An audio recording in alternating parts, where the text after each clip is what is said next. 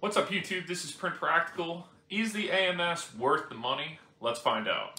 The AMS costs 349 USD from Bambu. Unless you purchase it as part of a combo kit with a printer, then it costs 249 USD. I got the AMS as part of the combo kit with my printer, but I had some other projects to do before I set it up. Now is the time. Let's hook it up and run it through some tests.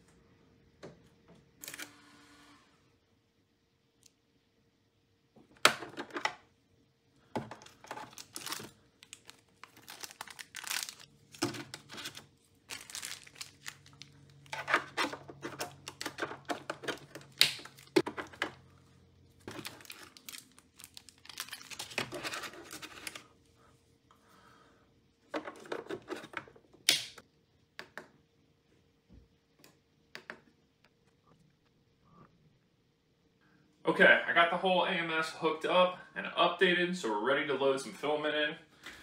What I have is the filament that came with my printer AMS combo. I have some orange PLA basic, some green, and then it also came with some support material for PLA. I also have some red inland PLA I'm to throw in here because I had it open. It's got a little bit of spool damage, but we'll see.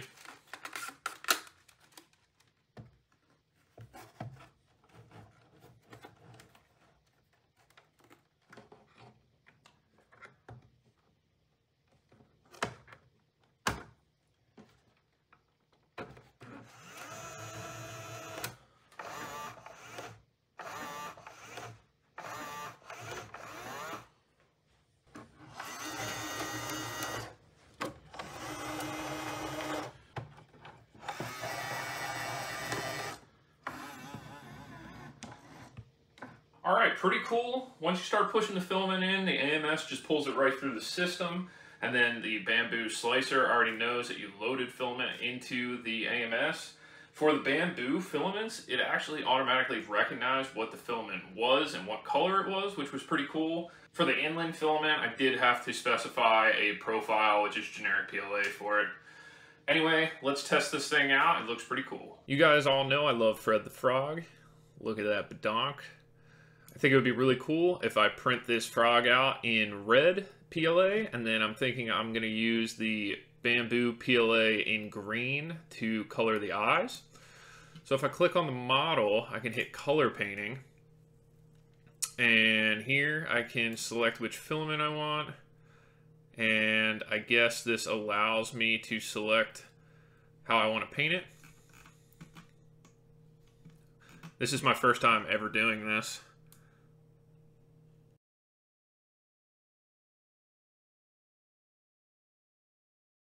Very cool. It tells you how much filament you're going to use of each kind and how much is actually flushed and wasted.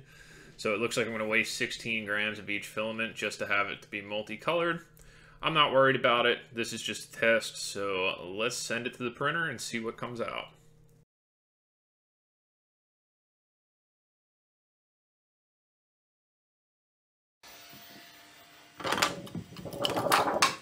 Meet this guy looks incredible.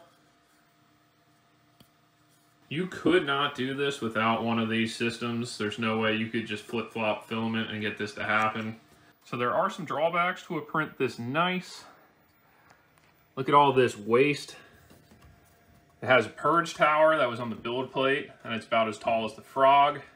And then all of this from the poop chute from that one print. Here I have a basic Chevy keychain that I use on my car key, and I'm going to try using three different colors for this. So first I'm going to use the orange and I'm going to use the fill. And let's do the top layer.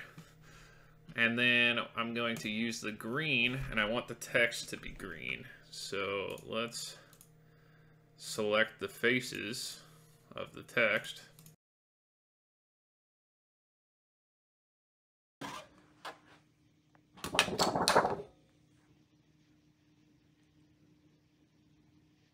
I made this keychain back in 2021 for a video. I think it was like the third video on my channel. I will definitely be replacing it with this new one. Purge Tower was pretty interesting for this one. You can see where it's purging the different colors. Let's see what came out the old poop chute. Not that much waste. This is the last test for the AMS. I have a microwave handle that I designed a few years ago for my microwave, and I printed this on an old, old printer and the supports on the bottom left a very noticeable feel when you're pulling on the handle. So this seems like a perfect use case to use this support material for. So first I need to go over to the support tab and I need to enable the supports.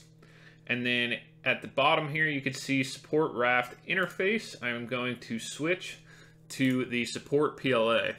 You're going to get a warning telling you that it's going to change some settings for the Z distance, and that's because this material is not supposed to bond to the normal PLA, which allows you to get a really good support structure that's very close to the model, and hopefully it shouldn't leave any weird artifacts on the model.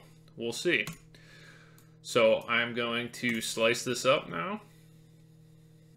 As you can see, it uses my normal filament for the supports until it gets to the part that's going to touch the model. Then it uses this support material for PLA. And this should take about 2 hours and 50 minutes.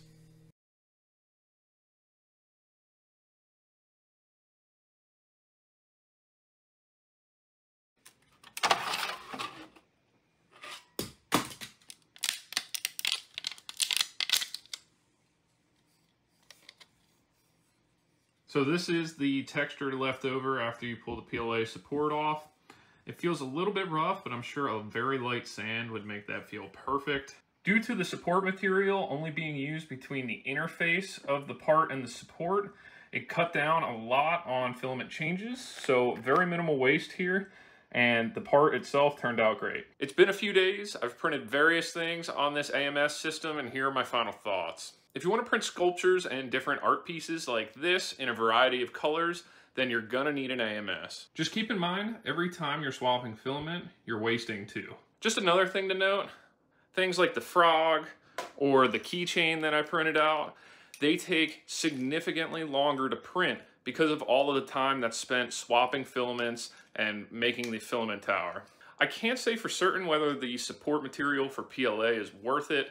I used it on this microwave handle and it left a rough texture on the bottom of it. I've seen similar results just using normal tree supports with a normal Z support distance. So I can't speak to that, but if you need that material, then you have to use an AMS as well. That's gonna be it for this one. I think the AMS is going to be more of a convenience factor for me when I want to swap materials in between prints. Also, the ability to use support material is a very nice feature to have.